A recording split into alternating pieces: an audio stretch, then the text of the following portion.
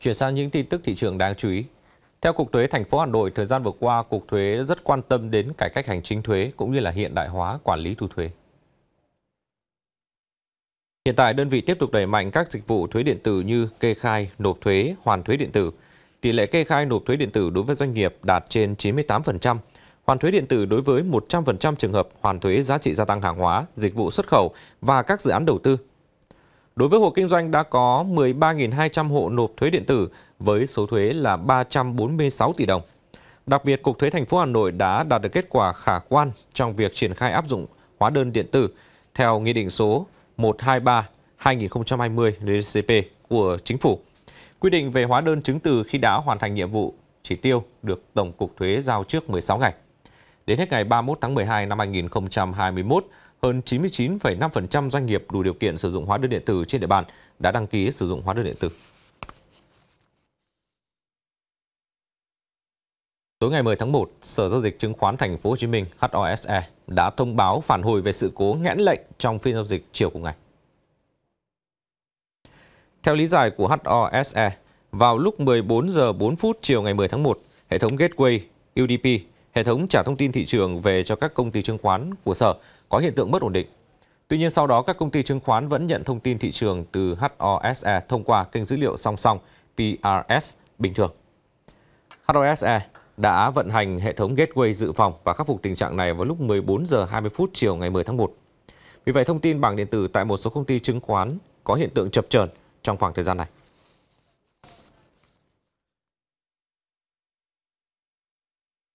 Thống kê có 200 dự án ách tắc và có thể còn thiệt hại nhiều hơn nữa trong tương lai nếu không tháo gỡ điều 75 luật đầu tư. Dù một số ý kiến băn khoăn nhưng mà các doanh nghiệp chuyên gia cho rằng không thể yếu chỗ nọ và siết lại chỗ kia. Theo giáo sư tiến sĩ Đặng Hùng Võ, nguyên thứ trưởng Bộ Tài nguyên và Môi trường, hiện nay rất nhiều dự án đang bị ách tắc khi chưa được chuyển sang đất ở do các nhà đầu tư chủ yếu giữ đất nông nghiệp. Rất nhiều dự án không được phê duyệt, kể cả dự án được quy hoạch là đất ở, bởi không ai dám ký duyệt dự án trái luật. Cũng theo ông Võ, tại nhiều hội thảo đã nêu vấn đề này, từ doanh nghiệp đến cơ quan chức năng đều kêu ca phản ánh luật trồng chéo, đặc biệt là điều 75 của luật đầu tư. Điều này gây nên tình trạng đất ở ngày càng khan hiếm hơn, kích thích và sốt giá đất, nguy cơ cao hơn nữa không có lợi cho thị trường bất động sản, rủi ro cho cả doanh nghiệp và cả nhà đầu tư thứ cấp. Thực tế hiện nay sốt giá đất đang xảy ra trên khắp cả nước.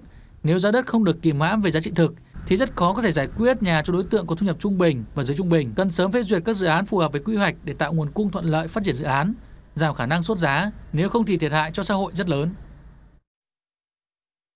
Bất chấp những ảnh hưởng của đại dịch Covid-19 tới toàn bộ nền kinh tế nói chung, thị trường đất công nghiệp, bất động sản công nghiệp vẫn đang trên đà tăng trưởng mạnh. Báo cáo nghiên cứu từ công ty CNW Việt Nam cho thấy giá thuê đất công nghiệp tiếp tục có xu hướng tăng. Giá chào thuê trung bình tại thành phố Hồ Chí Minh đạt 4 triệu 308 000 đồng một mét vuông một kỳ, tương đương 186 đô la Mỹ một mét vuông một kỳ, tăng 1% so với quý trước và 3% theo năm, chủ yếu do nguồn cung hạn chế và nhu cầu tăng.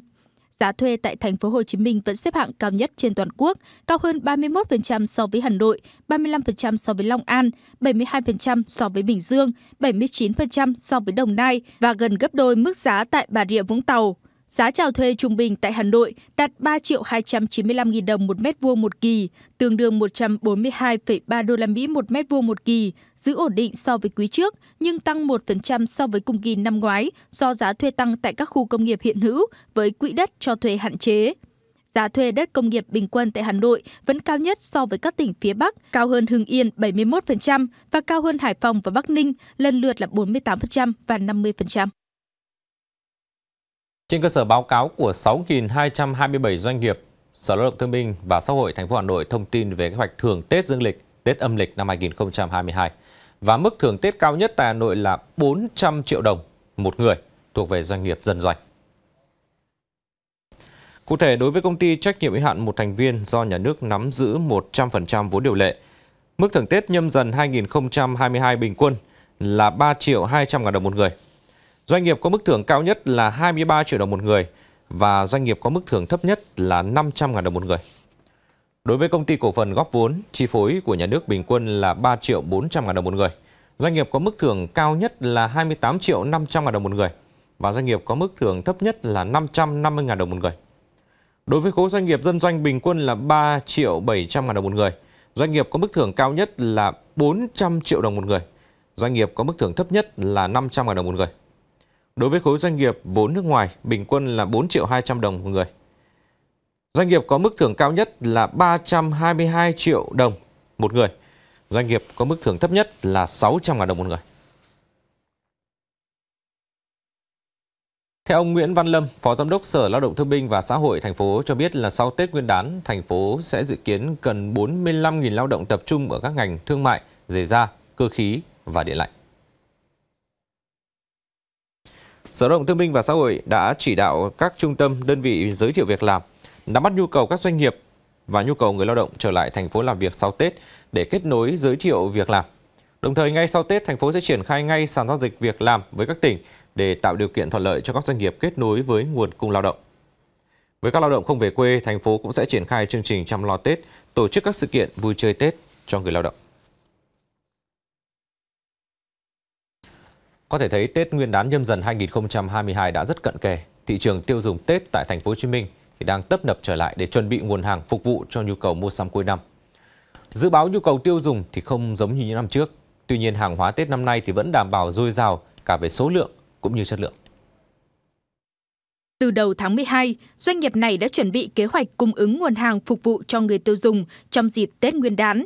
Đại diện doanh nghiệp cho biết, lượng hàng hóa năm nay tập trung chủ yếu ở nhóm hàng thực phẩm thiết yếu, nguồn dự trữ hàng hóa cũng được dự trữ cao hơn 150% so với những tháng bình thường. Là do dịch bệnh khó khăn thì cái mức tiêu dùng của khách ờ, thời gian gần đây nó có giảm hơn so với cùng kỳ năm 2020. Ờ, nhưng mà theo theo dõi cái ờ, đợt khách vào trung tâm siêu thị vào cuối tuần và những ngày thường thì nó cũng đang tăng dần theo từng tuần nên ờ, ngành hàng ờ, tất cả các ngành hàng về thực phẩm và ngành ờ, cho gỗ siêu thị đã cũng có cái cái số dự đoán của mình để dự trữ hàng tốt tốt hơn cho khách hàng để nhu cầu Tết này. Ghi nhận tại các hệ thống siêu thị, trung tâm thương mại khác trên địa bàn thành phố Hồ Chí Minh, nguồn hàng phục vụ Tết Nguyên đán nhâm dần 2022 đã tăng gấp 2 đến 3 lần số lượng so với những tháng trong năm. Các hệ thống này đang tích cực làm việc với những nhà cung cấp tiềm năng từ các tỉnh, thành phố để bổ sung nguồn cung, thêm nhiều lựa chọn cho khách hàng dịp Tết. Sàn cóp đã chủ động hợp tác à, và lên kế hoạch chi tiết cụ thể cho từng à, nhóm hàng, đặc biệt là nhu yếu cầu thiết yếu, hàng thực phẩm, cái hàng tiêu dùng hàng ngày để làm sao cho bà con có cái Tết thật là ấm cúng, thật là gần gũi và Tết đoàn viên trong cái thời điểm dịch bệnh hiện nay. Và quan trọng nhất là sàn cóp cũng đã à, tăng lượng hàng gấp 2, gấp 3 so với bình thường và ừ, nguồn dự trữ hàng lên tới 6.000 à, tỷ đồng và cái tổ chức nhiều cái chương trình khuyến mãi à, Tết đoàn viên Dịch COVID-19 đã ảnh hưởng đến túi tiền và thói quen tiêu dùng, kéo theo đó là sự thay đổi về nhu cầu mua sắm. Do đó, hàng hóa năm nay sẽ tập trung chủ yếu vào các nhóm hàng thực phẩm thiết yếu và thực phẩm hỗ trợ sức khỏe. Bản thân thành phố là trong cái chương trình bình ổn thị trường để chuẩn bị cho cái kế hoạch cung ứng hàng hóa Tết hàng năm thì chúng tôi cũng có kế hoạch đi kiểm tra nguồn hàng và nắm lại cái kế hoạch sản xuất dự trữ hàng hóa của các doanh nghiệp. Tuy nhiên là hiện nay cũng rất, rất là khó trong cái chuyện là, là đi kiểm tra cái nguồn hàng ở các địa phương và chúng tôi cũng đang cố gắng và nỗ lực để phối hợp với các tỉnh để có một cái kế hoạch làm sao đó đảm bảo cái việc mình có thể đi kiểm tra trực tiếp còn trong trường hợp không kiểm tra được trực tiếp thì cũng cố gắng tổ chức kiểm tra online để nắm được cái tình hình khó khăn của các doanh nghiệp có cái giải pháp điều chỉnh kịp thời đảm bảo làm sao để có cái nguồn hàng cung ứng cho người dân thành phố trong dịp Tết nó nó đầy đủ và có giá cả ổn định. Theo đó, các doanh nghiệp bình ổn thị trường chuẩn bị nguồn vốn dự trữ, cung ứng hàng hóa cho 2 tháng Tết là gần 20.000 tỷ đồng. Trong đó, giá trị hàng hóa chuẩn bị nguồn hàng bình ổn thị trường là hơn 7.000 tỷ đồng. Riêng tháng cao điểm phục vụ Tết từ ngày mùng 1 đến ngày 30 tháng Chạp, tổng giá trị hàng hóa của các doanh nghiệp chuẩn bị khoảng 11.000 tỷ đồng, hàng bình ổn thị trường là hơn 4.000 tỷ đồng. Thưa quý vị, tại khu vực miền Bắc, nhiều địa phương thì đã bước vào trạng thái bình thường mới từ đầu tháng 7. Tuy nhiên chi phí sản xuất 3 tại chỗ trong giai đoạn tháng 5, tháng 6 cũng như là chi phí xét nghiệm định kỳ khiến lợi nhuận trước thuế năm nay của các doanh nghiệp không cao. Dù doanh thu thì không giảm so với năm ngoái. Vì thế thưởng Tết được dự báo sẽ hạn hẹp và không được như là mức của năm 2020, khiến nhiều doanh nghiệp hiện đang phải chạy đôn chạy đáo để cố gắng có tiền thưởng Tết cho người lao động. Cũng như những công nhân vận hành truyền tại xưởng 1, anh Ngân vừa bước vào những ngày cao điểm sản xuất cuối năm với nhiều sự phấn chấn. Sau hơn một tháng phải dừng sản xuất, từ tháng 7, mọi hoạt động của nhà máy đã vận hành trở lại. Lúc này, Tết đã gần, những lao động như anh đều mong mỏi khoản thưởng Tết. Về trách nhiệm và lương thưởng thì uh, mỗi tháng là công ty đều có những cái phần uh, thưởng cho những cái công nhân viên ưu tú xuất sắc và làm tốt cũng như là có chuyên cần. À, tất nhiên là Ờ, khi mà cái thời gian ờ, cách Tết là không còn xa nữa thì mình cũng rất là mong cũng như là hy vọng là công ty ờ, làm làm sẽ có cái kết quả tốt để công ty cũng có điều kiện để thưởng thêm cũng như là à, quà Tết cho tất cả mọi người cũng như mình. Cũng như anh Ngân, công nhân ở hầu hết các nhà máy đều mong mỏi khoản thưởng Tết hàng năm.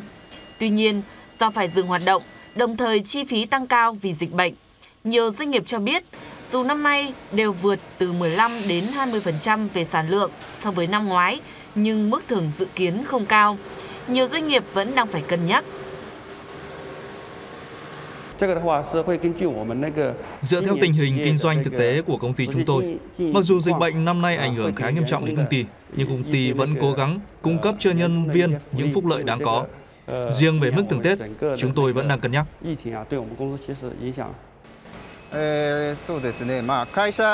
Chúng tôi vẫn đang tính toán, nhưng chắc chắn không được cao như năm ngoái. Nhưng ít nhất chúng tôi sẽ duy trì mức thưởng khoảng 1 đến 1,5 tháng cho người lao động. Khảo sát của một số ban quản lý khu công nghiệp địa phương cho thấy nhiều công ty duy trì sản xuất ba tại chỗ và hai địa điểm một cung đường, có mức thưởng bằng một tháng lương. Còn các công ty đóng cửa do dịch bệnh đang cân nhắc mức thưởng khoảng 50 đến 70% so với năm ngoái. Dù tình hình tài chính khó khăn, nhưng nhìn chung các doanh nghiệp trong khu vẫn cố gắng xoay sở tài chính để có mức thưởng Tết nhằm giữ chân người lao động. Nội dung vừa rồi đã khép lại bản tin dòng chảy cuộc sống trưa nay của chúng tôi. Cảm ơn quý vị và các bạn đã dành thời gian theo dõi. Sẽ hẹn gặp lại quý vị và các bạn vào giờ này ngày mai.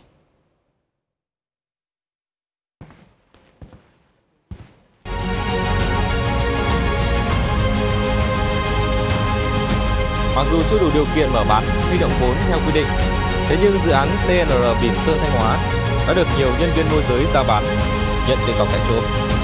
Để tránh rủi ro cho khách hàng, chính quyền địa phương đã phải ra văn bản cảnh cáo người dân. Nhưng bất chấp những văn bản được lưu hành, nhân viên môi giới vẫn trèo kéo, dụ dỗ khách xuống tiền. Nội dung có trong dòng chảy cuộc sống này.